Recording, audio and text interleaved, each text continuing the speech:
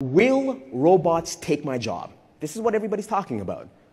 In fact, if you want to know if your job will be taken by a robot, there's a really great site. It's called willrobotstakemyjob.com.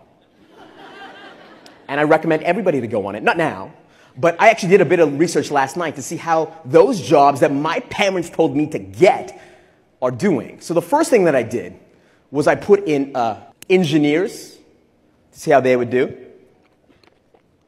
And they were 1.4%. Totally safe. And then, of course, I put in accounting to see how we would do in the world of automation, artificial intelligence. And it turned out that we were 94% and uh, uh, uh, completely doomed.